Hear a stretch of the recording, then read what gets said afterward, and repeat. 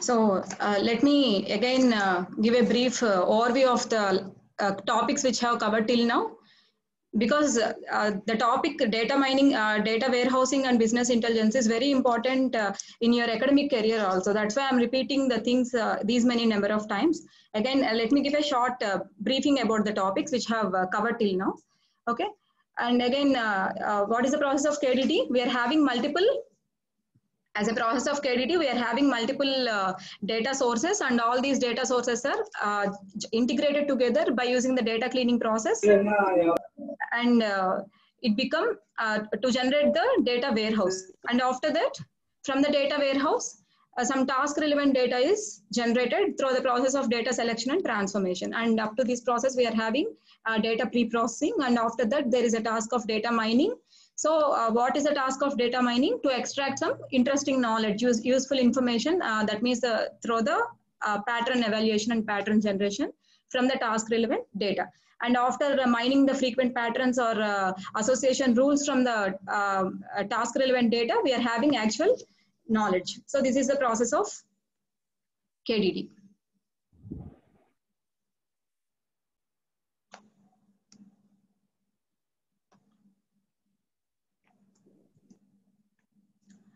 So next, uh, what are the frequent patterns? The patterns which are repeated a certain number of times by satisfying some user-defined uh, user-defined threshold. Those are called as some predefined patterns, right? And what are all the association rules? These are the rules uh, indicating if-then uh, format, right? Association rules are if-then rules. And um, uh, in order to generate strong association rules, we want some uh, minimum support and minimum confidence. And what is the exam, best example of association rule mining? What are the best examples of association rules? What are the examples of association rules? What is the famous example of association rule? Market basket analysis. Market basket analysis. This is the famous example of association rule. And next, uh, uh, how we have how we calculate support and confidence. What is meant by support? Support is nothing but the probability that a transaction containing both the items.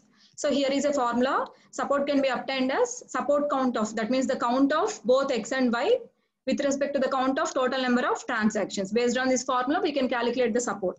Similarly, what is the confidence? It is the conditional probability that a transaction X, yeah, uh, including uh, containing Y also. So P of Y by X. It can be uh, formulated as P of Y by X is equal to support count of X union Y by support count of X. Okay. So if at all the if at all any association rule satisfying this predefined minimum support and minimum threshold, minimum confidence, we can call it as strong rule. Okay. Next here is an example, uh, famous and very best example for the association rule, market basket analysis. What is this? Here, uh, here uh, vendors perform some analytics, uh, analytics on the uh, items, items kept in the customer's basket. So in which way they are collecting all the items by, by applying some Boolean, uh, Boolean way like that. for example, each for example, each item in the basket is represented with the Boolean variables. The presence of item is indicated with the what? The presence of an item is indicated with one. One. And absence of a variable uh, or absence of an item is indicated with the zero. So with the by going through the Boolean values, uh, the what the vendor actually do actually did some um, uh, generate some Boolean vectors from each basket, right? So based on that uh, generated Boolean vectors, finally he can uh, retrieve, he can uh, made some assumptions, made some patterns. So finally he can conclude that uh, identify certain items which are purchased together by the customers. So what is the advantage of uh, identifying those items? What is the advantage of doing analytics on, the, on such data? So with the help of identifying the items which are frequently purchased together. So uh, vendor can suggest the customer uh, if suppose a customer wants to uh, wants to the store to purchase bread, he can suggest to purchase milk like that. And also the product placement. So what, what they're doing actually here, uh, they are placing both the products, they are placing both the products together at the same place in the shop. And with that, they can maintain the catalog design also. And what is this loss leader analysis?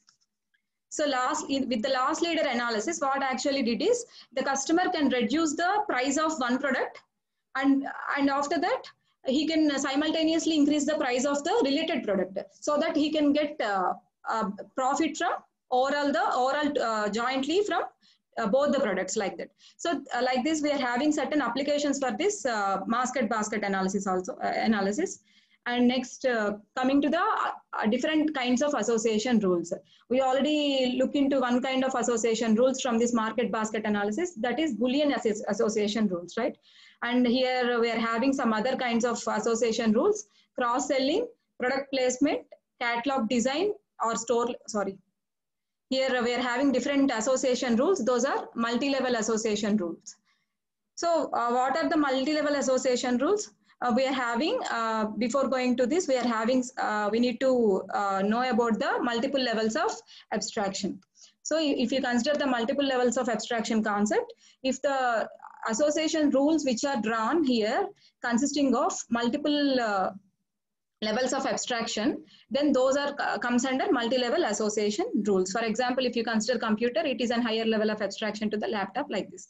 And coming to this next one, single level association rule. So if at all there is no association, uh, there is no multiple levels of association, those rules are called as single level association rules. And next, uh, single dimension and multiple di dimension. If a rule include only one dimension, uh, then it is called as if a rule includes only one, one dimension, then it is called as a single dimension association rule. If a rule includes multiple dimension, then it is called as multi-level or multi-dimension association rule. And the next one is uh, based on the types of values handled in the rule. We are having here Boolean association rule and quantitative association rule. Coming to the Boolean association rule, market, as said earlier, market basket analysis is the best example for the Boolean association rule. And next, uh, coming to the quantitative association rules. If a rule includes the quantities uh, like this, here uh, we are having quantities for age and income, right? If a rule includes the quantities, then this comes under quantitative association rule. And coming to the next topic, frequent item set. How can we uh, how can we calculate the frequent item set? Uh, that means how can we find out whether the item set is frequent or not? That is uh, based on the given support count. For example, if you consider this uh. So uh, to find out whether A is frequent or not, first we need to find out the count of A. So what is the count of A from the data set? It is 3. So if at all it satisfies the minimum uh, threshold, we can, uh, uh, we can mention that this is a frequent item set. Otherwise, it is not a frequent item set. And now uh, here we are having a downward closure property. That is, if an, if an item is item set is frequent, then all its subsets are frequent. And next we are having closed and maximal item sets. Uh, uh, what is the purpose of going for closed and maximal item sets? Because if you are, if you if you're having a uh, item set cont containing k items, then how many subsets we are having? 2 power k minus 1 subsets we are getting. That means if an k item set is frequent, all of its 2 power k minus 1 subsets are also frequent. So handling those many frequent item sets is too difficult. So in order to get rid of this, we are having two uh, methods, closed to frequent item set and maximal frequent item set. So uh, coming to the closed frequent and maximal frequent item sets, here uh, for identifying uh, identifying that, we need to first find out the uh, find out the frequent item sets. Here out of uh, 31, here we, we are getting 15 frequent item sets. So 16 are infrequent, right? So here um, coming to the closed frequent, how to uh, how to get the closed frequent item sets. So if an item set is closed, then all of its supersets, immediate supersets should ha shouldn't have the same support count of x. So based on that, we can uh, find out the closed frequent item sets. So here and uh, coming to the maximal frequent item set, uh, what is the condition for getting the maximal frequent item set? No immediate superset of x is frequent. So by using that condition, we can uh, find out the maximal frequent item sets. and uh, from the uh, from the obtained values and we have concluded that maximal frequent item set is a closed uh, subset of closed frequent item set and which is a subset of frequent item sets and here uh, uh, we are having we, we, we are going to discuss about the two important methods which are specially meant for efficient and scalable frequent item set mining. So why we need to mine the frequent item sets? Why? Because we have association rules. Uh, what are the basic uh, steps involved in association rule mining? What are the basic steps involved in that? There are two basic steps involved in association rule mining. What are those? One is we need to first find out all the frequent item sets. And the second rule is we need to generate the strong associations from the frequent item sets. So we are having two rules involved here uh, for uh, forming the association rules. Uh, the first one is we need to find out all the frequent item sets. So what is the problem with this uh, finding out all the frequent item sets is if at all the item set length is too long, too many uh, subsets are generated. So there are many algorithms, many methods involved to improve the efficiency of this first step of the association rule mining. So what is that first step? Finding all frequent item sets. So to find all the frequent item sets efficiently, we are having two methods, a priori method and, sorry, we are having two methods, a priori method and FP growth method. Coming to the a priori method. Let's wait.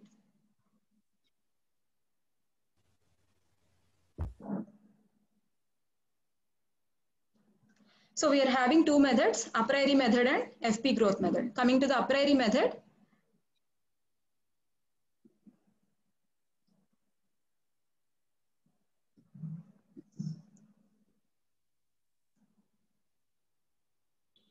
Okay. Coming to the a priori method, just uh, let me read these lines. A priori method is for mining frequent item sets for Boolean association rules. So we are only dealing with the methods, a priori method and FP growth method, only for improving the efficiency of the Boolean association rules, not for uh, dealing with the multi-level association rules, not for dealing with the quantitative association rules and all. We are only now dealing with the Boolean association rules with the help of a priori method. And if you if you want to uh, learn, if you want to know anything about uh, about uh, a particular method or uh, anything, first we need to observe the name of the method and by observing that we can get something uh, about that method, the functionality of the method. Here what is the method? A priori. Method is the a priori. So what is meant by prior? Prior in the sense earlier. So here uh, the name of the algorithm is based on the fact that it uses some prior knowledge. So here since the a priori method uses some prior knowledge, what is that prior knowledge? That is about some frequent item sets. Uh, we will uh, get deeper into this topic whenever we consider an example. Okay. So the name of the algorithm is based on the fact that it uses some prior knowledge of frequent item sets. And next, it employs an iterative search approach. So it is something like an iterative process, the process which repeats a certain number of times, right? So it employs an iterative search approach known as, that process is known as level-wise search where k item sets are used to explore k plus 1 item sets. If we are having, uh, what is meant by k item set? If I am have, if, if I am having a, if, if suppose I am having ABC, my, uh, my item set is ABC, this, this can be called as a three item set.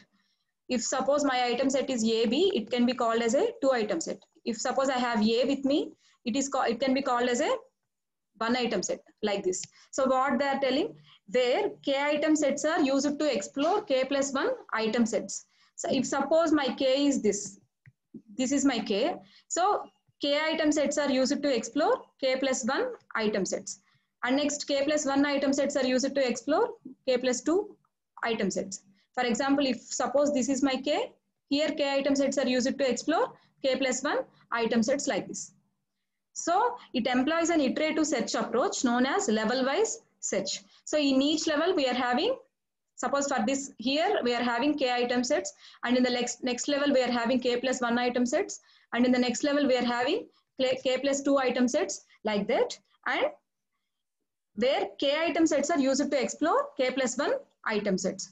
And next, uh, what, what is the actual procedure here means first we need to find out the set of all frequent one item sets. As said just now first we need to find out all the set of one item sets. One item sets in the sense a b c d like that.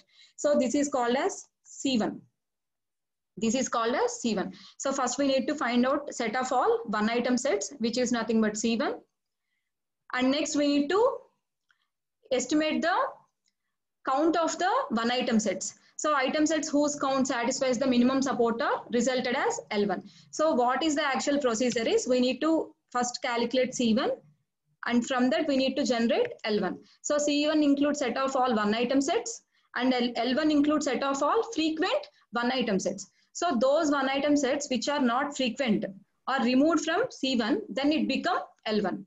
So this is the task and this task is repeated certain number of times. So that's why it is an iterative search. So L1 is used to find L2. So from L1, we are going to find L2 again, a set of frequent two item sets, which is used to find L3 and so on. on. So here what happens? Initially, a first phase is uh, uh, first phase is formed and with that based on the previous results based on the previous uh, generated frequent item sets we are getting the next level of frequent item sets that's why it is called it uses prior knowledge that's why it is called as a priori and it can be uh, explained better with an example. And again here, uh, what happened here, if you go for the next step, here if you go for the next step, uh, again from L1, we need to generate L2. Again from L1, we need to generate L2. How to generate L2? Again, we need to generate some two item sets from the frequent one item sets. So again, uh, we are getting some C2, which consisting of uh, two item sets. And from C2, uh, we can get L2 by re removing all the infrequent items. So here, the, observe the last line. The finding of each LK requires one full scan of the database. Why the database is going to be scanned every time? Because we need to identify whether the one item set is frequent or not. We need to go through the database and find out uh, its uh, count, right? Again, here also, in the second uh, step also, in order to find out whether uh, uh, the two generated two item sets are frequent or not, again, we need to go for the database and again, we need to scan and uh, we need to note down all the counts and again, we need to generate L2. So in this way, uh, each level, each stage of it requires a one full scan of the database. If at all the database is too large, is it okay for uh, is it okay for us to uh, scan the database again and again uh, which is a actually a complex difficult task? So here is an a priori algorithm to perform effectively the second step. So here we, are having two steps right? What is the first step? We are generating some k plus 1 item sets from the k item set. That is the first step step. What is the second step? We are uh, removing all the infrequent items uh, to generate only the frequent items. That is the st second step. So in order to make the second step effectively, we are having an a priori principle here. So here, to improve the efficiency of the level-wise generation of frequent item sets, we are having a priori principle or a priori property. What is that property? All non-empty subsets of a frequent item set must also be frequent. Uh, remember this property. Uh, it's very important to solve the problem uh, coming to the, uh, we have taken uh, further. So what is the a priori property? All non-empty subsets of a frequent item set must also be frequent. Are you ever heard this property earlier? What is this property? All subsets of a frequent item set must be frequent. Are you heard this earlier?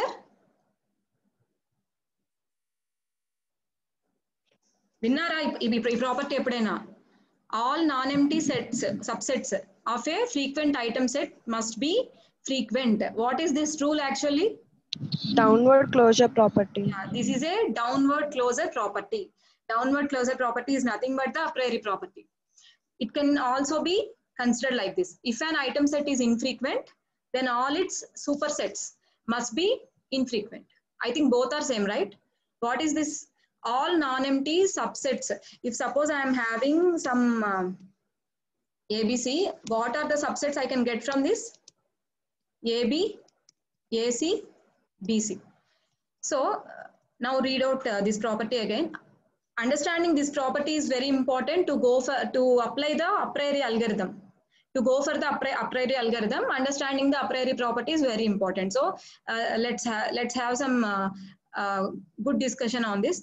So on non-empty subsets of a frequent item set. If suppose this is a frequent item set or this is an item set and these are all the subsets. So if it is a frequent item set, all its subsets are frequent. And what here I am telling, if an item set is infrequent, assume that this is infrequent. Assume that this is infrequent, then all its supersets, sorry, assume that these are infrequent. Or for example, assume that this is infrequent. But these two are frequent, this is infrequent. Assume like this. That means here in the first half of the property, we are telling in a forward direction. In the second half, the same thing we are telling in reverse direction. Both are same, but explained in two different ways. If an item set is infrequent, for example, assume that AB is infrequent, then all its supersets must be infrequent. Since ABC is superset of AB, if AB is in, infrequent, ABC is also infrequent. If ABC is frequent, all its subsets are frequent. If any of the, if, a, if, a, if item set is infrequent, then its superset is also infrequent. Getting my point or not? Don't confuse here. If at all, uh, if suppose we are having superset here, we are having subsets here. Subset 1, subset 2, subset 3, like this we are having. If at all this is frequent, no need to check this. All the subsets are frequent. That is one direction of the rule. What is the other direction? If at all one, suppose, if at all this is not frequent, if at all an item set is not frequent, no need to go for the subsets. It's a superset is there now.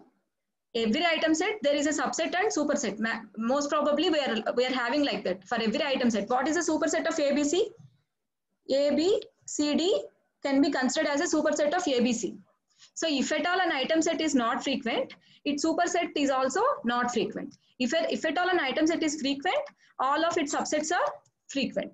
That is the a priori property, also called as downward closure property. And this property belongs to a special category of properties called as anti-monotone property. So uh, a priori property, uh, downward closure property, anti-monotone property, all are same. So what are the two steps till now we are having? Join step and prune step. So what step is called as join step? So to find LK, a set of candidate K item sets. So here item set represented with C is called as candidate item set. Item set represented with L is called as frequent item set. Okay. Uh, we use it to refer those terms. We use it to use uh, frequently those terms in case of a priori algorithm. So what is the join step? We already know that. What is the join step? To find LK, a set of candidate K item sets is generated by joining LK minus 1 with itself. This set of candidates is denoted as CK. So how to generate uh, CK plus 1 from this? How to generate the next level? If suppose K, K is, this is L1. L1 is consisting of set of all one item sets. So how to generate two item sets? By going through the self join.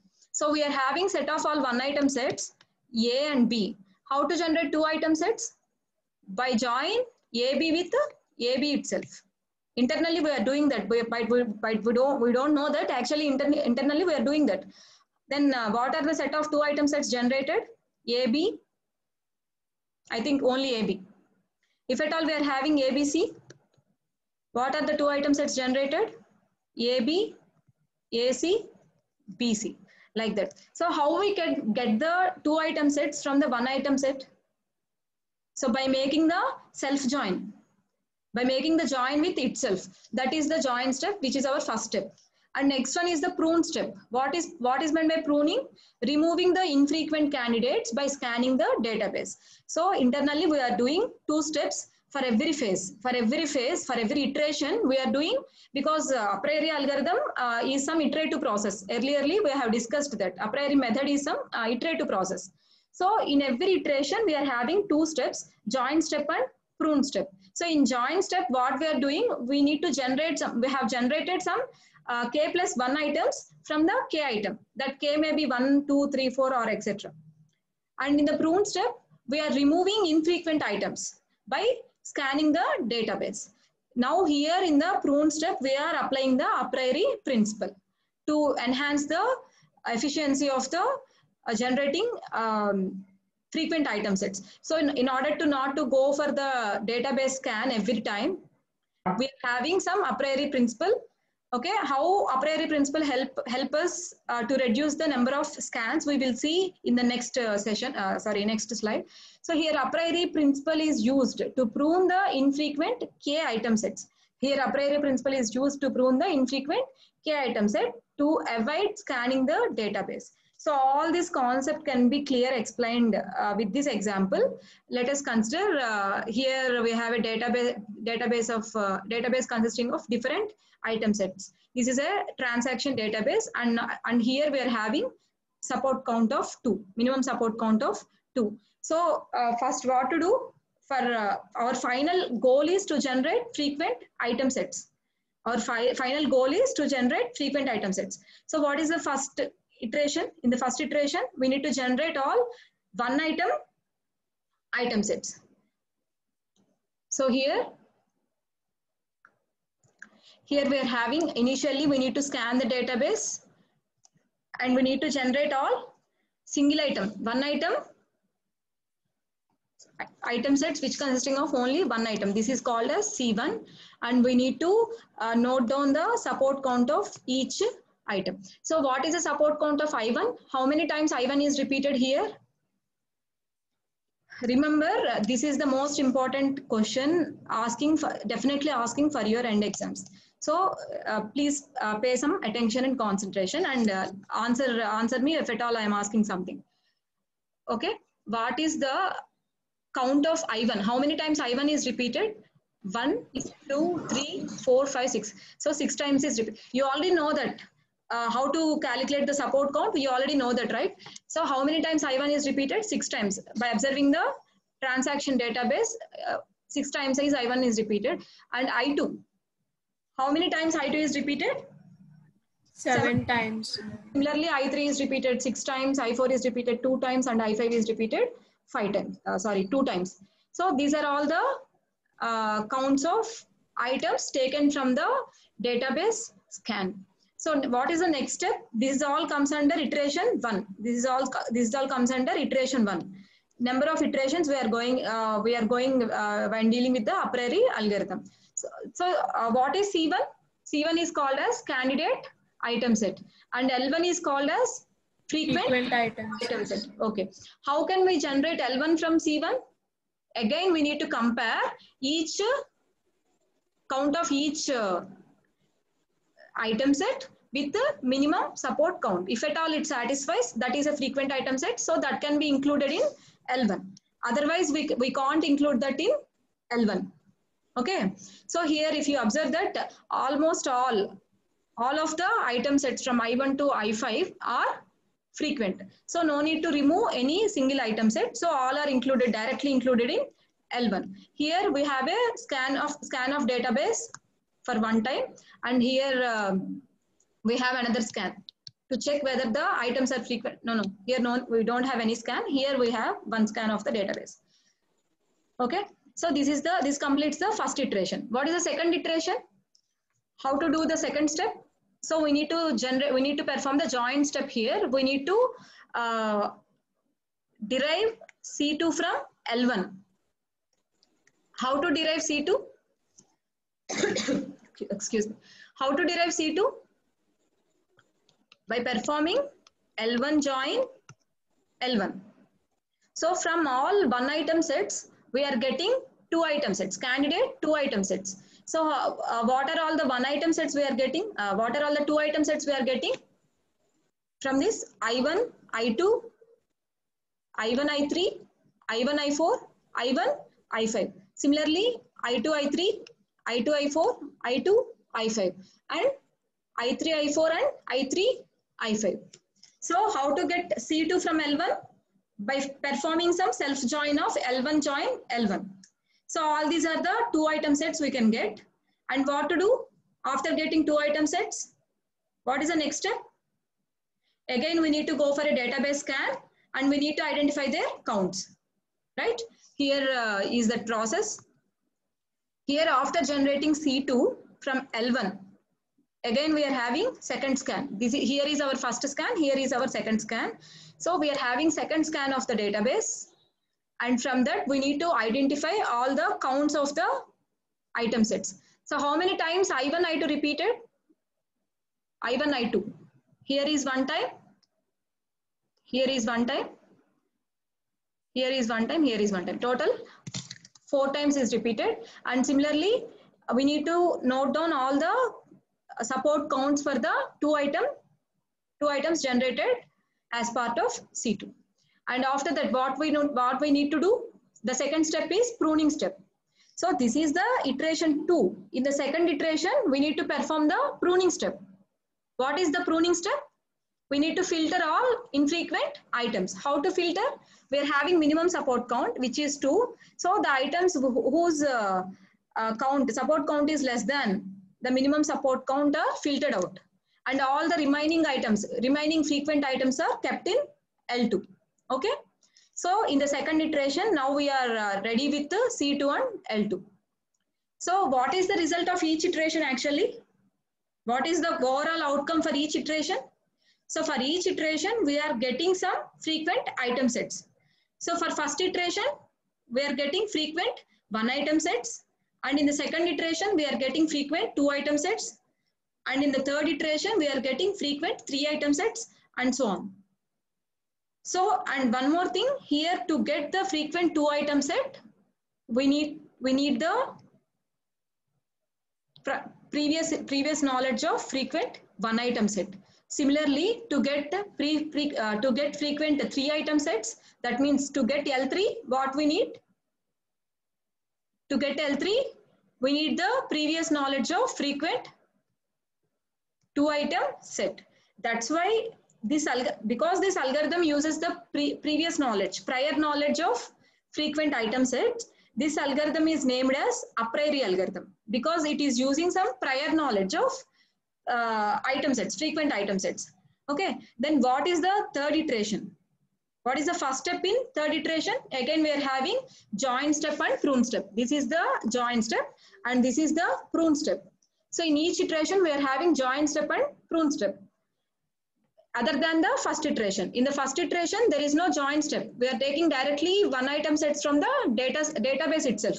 So there is no join step. Here we are having prune step. Pruning in the sense, filtering out all the uh, infrequent items. So prune step is commonly there in each iteration, uh, but except in the first iteration, in all other iterations, we are having join step.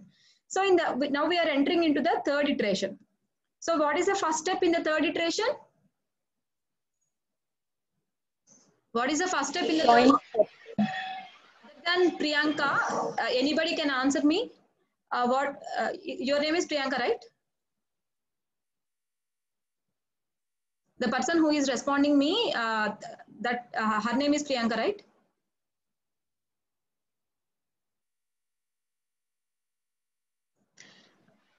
No, ma'am. My name is Alekhya. Alekhya. Okay. Uh, thank you for that. And other than other than Alekhya, uh, anybody respond? Anybody can give me the give me the response for this particular question. What is the next step?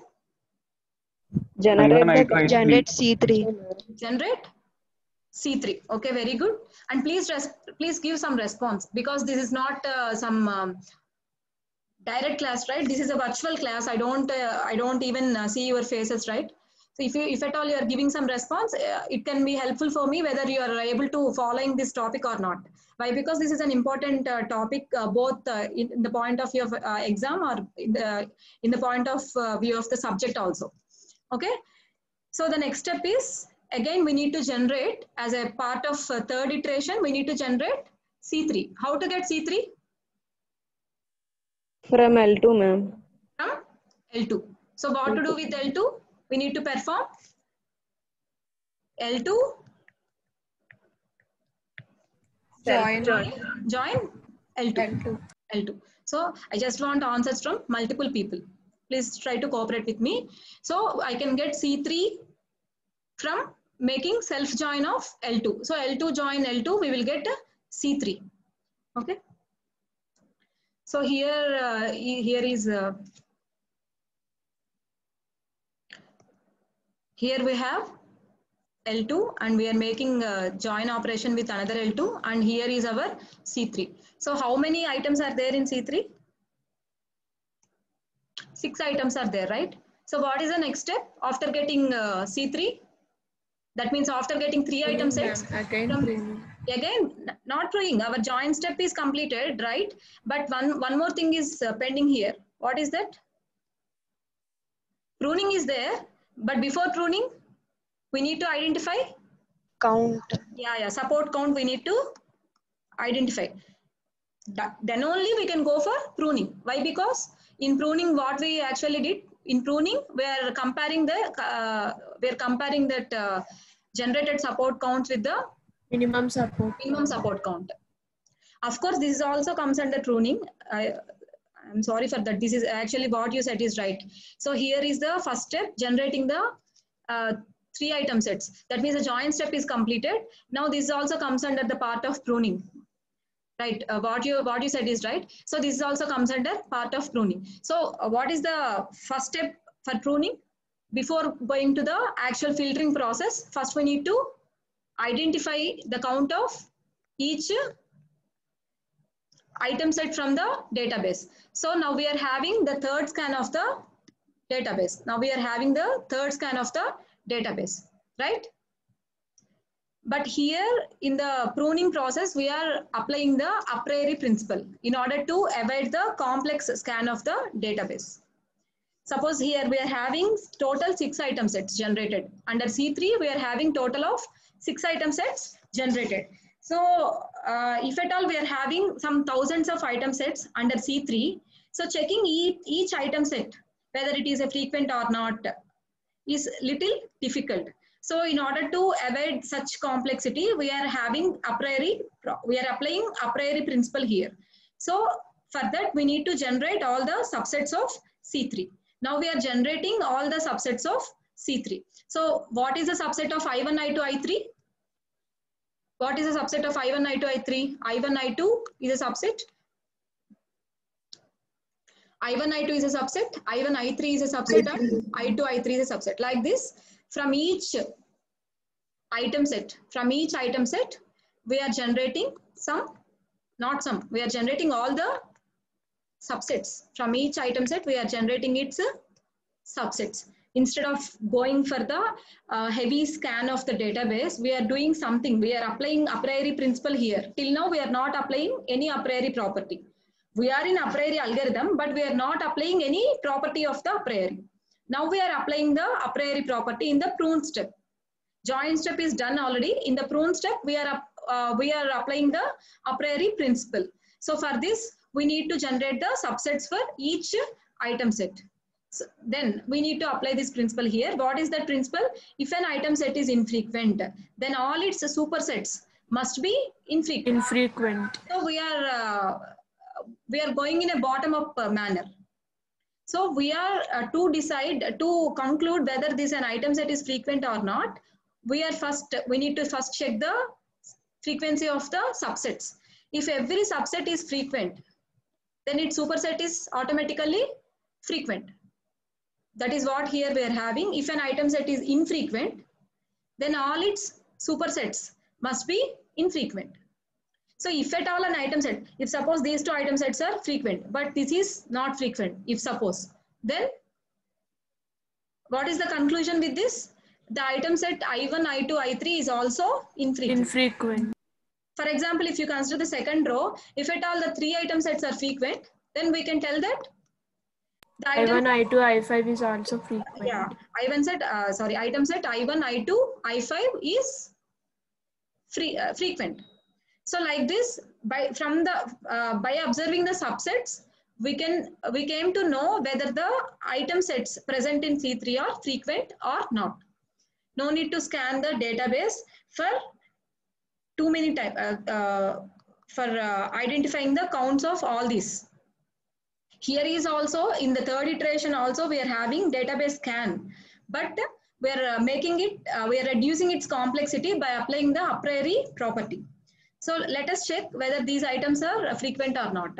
How to check? whether these items are frequent or not. Again, we need to go for scan or any other alternative we have. Any guess? How to check whether these items, these items which are uh, present here in the table 2 are frequent or not? How to check? Again, we need to go for a database scan or any other alternative we are having. Anybody guess? We already have two frequent. Uh, Very good, very good, excellent. So we are already having two frequent item sets in L2. We are already generated in previous previous step, right? So in previous step, we have already generated two frequent item sets. Here is an L2. So if at all an item set is present in L2, then it is a frequent item set. If at all an item set is not present in L2, then it is not frequent. So based on that, we can filter out. Based on that, we can filter out. So here let us check one by one. Uh, the first one is uh, I1, I2. Is there in uh, I1, I2 is there? In L2? Yes, ma'am. Yes, I1, I2 is there. Next I1, I3? Yes, ma'am. Is Yes. there? Yes. I2, I3? Yes, ma'am. Yes. So here uh, three item sets, three uh, subsets of the first item set in C3 are frequent. So we can conclude that this is this is what? Frequent. Frequent subset. Yeah, this is frequent item set. And coming to the next one, I1, I2 is already frequent. I1, I5? Frequent or not? Yes, No. ma'am. I1, I5. Yes, ma'am. Is there? Yes, is there is there in L2, right? This is frequent. Next, I2, I5? Yes, ma'am. It is also frequent. is also there. So all the subsets are frequent. So according to a priori, we can conclude that what we can conclude I1, I2, I5 is also frequent. is item. also frequent. Very good. Next, I1, I3. I1, I3 is frequent or not? Yes. Frequent, ma'am. Frequent. I1, I5. Frequent. Frequent, ma'am. I3, I5. I3 infrequent. It is not frequent. Not frequent. So if at all one item set is not frequent, its superset is not frequent. So superset of I3, I5 is this one. So this is not frequent. We need to exclude it from the list. And next, I2, I3, Frequent. frequent. I2, I, uh, I2, I4. Frequent, ma'am. Next, I3, I4. Not frequent. Frequent. So not frequent. Again, this is also excluded from the list. Next, uh, I2, I3, Frequent, ma'am. frequent. I2, I5, Frequent, ma'am. I3, I5, Not frequent. not frequent. So this is not, since, since one subset is not frequent, uh, leave the remaining subsets. Here is not, this is not frequent, which means that the superset of this is also not frequent. We know that this is the superset of that subset, so this is not frequent. And after that, I2, I4, Frequent. frequent, I2, I5 is also frequent. frequent, I4, I5, Not frequent. not frequent. So this is also excluded from the list. So only we are having two I1, I2, I3, I1, I2, I5. I1, I1, I2, I5. Only we are having two frequent item sets from the list C3. Now what is the next step? Next we need to write down the support counts. So how L, L, L3 is generated? From C3, how L3 is generated? L3 should include the support counts also, right? L3, like, like, like L2, L3 also should include some support counts. So here we need a, we need to have a database scan for what to identify the support counts of these two. So what is the advantage here by applying a priori principle? We are avoiding the complex scan of the database. So previously, if at all we are not applying the uh, priori principle, previously we need to scan the database to identify the support counts of all these six items. Now by applying a priori principles, our task is uh, very simplified, right? You may think that uh, identifying uh, two out of six is uh, not uh, uh, not so efficient. I mean, there is no difference to go for to go for the data database for searching out two items and for searching out six items. Here in this small example, you may not notice the difference. But if you consider the large databases, if at all you need to scan the database for one lakh items, If at all you apply the a priori principle and it reduces into some 100 items, is it uh, flexible for us or not? Yes, ma'am. Yeah, definitely. Uh, similarly, if at all, uh, uh, if at all you are uh, learning uh, your C programming in C programming, uh, when whenever uh, you are going for concept of functions, initially, what kind of uh, examples we are telling for dealing with functions, addition, multiplication, like that. You may think that uh, what makes the difference of using functions? Directly, we can uh, we can perform some addition operation, or uh, by going through functions also we can perform the same. What makes the difference in the sense? The actual difference we can identify whenever uh, we are uh, we are going we are moving towards the complex problems.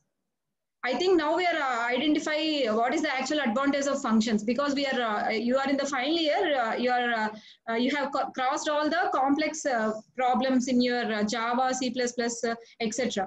So when you are dealing with complex programs, for example, string handling functions.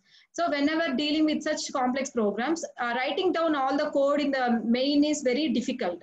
Uh, they, there in such uh, type of complex uh, programs, in uh, handling such kind of complex uh, uh, coding, functions are very helpful for us. Similarly, here also, its actual advantage advantage may not uh, be reflected here but it is reflected whenever you have considered the databases with uh, uh, large amounts of sizes like terabytes uh, uh, gigabytes like that. So coming to the next step. So what is the next step? We have generated a generation of c3 and in the process of generating c3 we have applied a priori principle so which reduces our effort of scanning the database for only two items. Those are uh, those two items are I1, I2, I3 and I1, I2, I5. And after that, here we have a database scan to identify the support count of those two. here is a database uh, and what is the support count of uh, the items I1, I2, I3? I1, I2, two i1 i2 i3 is there. Here also i1 i2 i3 so here the support count is 2 and what is the support count of i1 i2 i5 i1 i2 i5 is there. Two, and here, yeah 2 so the support count is 2 what is the minimum support count? 2 ma'am. 2 ma'am. Since it satisfies the minimum support count both the items satisfies the minimum support count we can include both the we can include both the items in l3